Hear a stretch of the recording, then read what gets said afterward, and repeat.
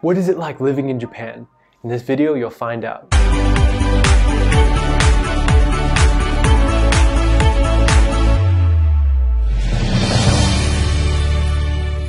So, a lot of people ask me when they find out that I lived in Japan, what's it like living in Japan? What's it like living in a foreign country?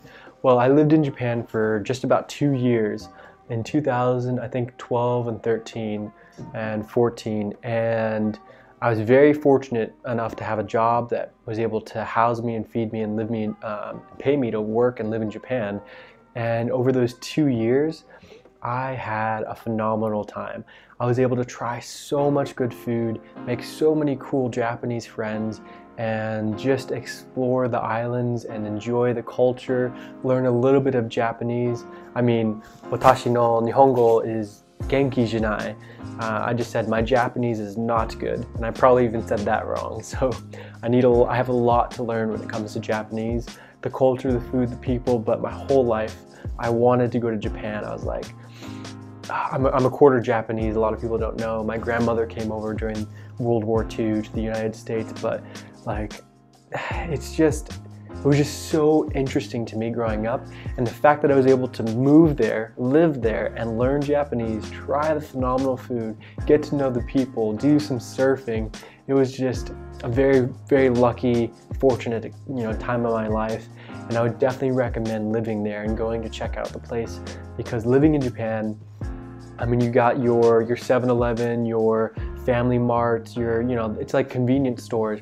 And the convenience store sushi, I thought, was better than most or any American sushi that I've had in the United States, excluding my grandmother's sushi. Her sushi was better, but she was from Japan and she was, it was Japanese sushi just made in the United States. Um, but you know their their fast food is like you know Coco's curry. Their Coco's curry is really good. Um, they have everywhere from a, a, level one to level 10. It's like a scaling system on how hot their curry is. It was so great being able to try to get all the way up. My buddy Seth, um, he could eat all the way up to 10, 10 level uh, of the spiciness. I could eat a five or a six. I got a 10 once. I ate like a quarter of it. I'm like, it's too spicy. It's just too spicy. So I gave it to my buddy Seth and he, he finished it off. Um, the food's really good. You know, there's really good sushi. They have really good beer and wines. You gotta try the the plum wine. That's really good. A little sweet, but the sake, the sake is really good, especially if you get it hot in the winter. Oh my gosh! I went to um, Skytree in Tokyo to go visit my family, and me and my friend went up there for a week or so or a few days. And when we were there, we were able to, um, you know, we were able to try some. When we were at Skytree, we had a hot. I had a hot Guinness, my friend had a hot wine, and it was just so good because it was freezing out when you're drinking. I don't know if it was Guinness, it was a stout, it was a dark beer. I was drinking this hot beer. I'm like, I've never had this before, but this is so good. It was like the most comforting alcoholic beverage I've ever had.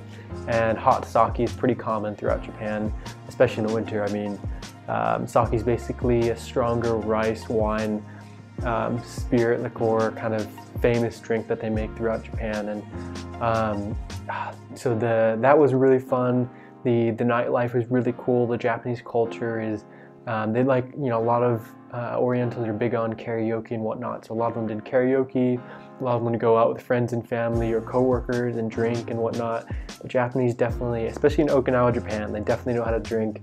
Um, my friend Shima could drink a few big bottles of uh, a bottle or so about this big of Awamori, which is, I think it was like 20 or 30%. He could drink a lot more than I could. He would often call me and be like, Landon, Landon, come pick me up. And I would, I would give him a ride to, you know, wherever he had to go or take him back home. But I definitely have to go back to Japan because the culture, the food, the people, everything is just so great. They have good surfing. Um, even in the, winter in Tokyo, people surf. I actually was able to go surfing in December um, in Tokyo because my uncle lives in, I think he lives in Narita, Chiba. I think he lives in Narita. And we went down to Chiba, which is super close, and we went surfing. Um, and it was like 30 degrees out, but you know, I had a wetsuit. He had a surfboard for me to borrow. It's really small. I'm more of a longboard rider because I'm not a great surfer but um, it was really fun. I think I was able to catch a wave. I don't know if I was able to stand up, but when I was sitting on his board, it was like a foot or two below water. It was just super thin and super short, and it was it was a really good experience. I definitely recommend it. But um, man, I could go on for probably hours talking about Japan and living in Japan, going to Mount Fuji, doing all these things. And I'm sure in other videos I'll do story times about, you know, the trip to Mount Fuji or different sites in Okinawa. I'm actually going back to both those places, so maybe I can, not Mount Fuji, but Japan and Okinawa, uh, which is South Japan, and here pretty soon. So I'll probably make some cool video logs about that. If you want to see those or other story times about Japan, um, just like and comment, hit that subscribe button, and hit that bell icon, and every time a video posts, then you'll be notified that I posted a video. So hopefully you guys enjoyed this video. If you did, um, awesome. And then, uh, yeah, it's been NST, Never Stop Traveling. Peace out, guys. Take care.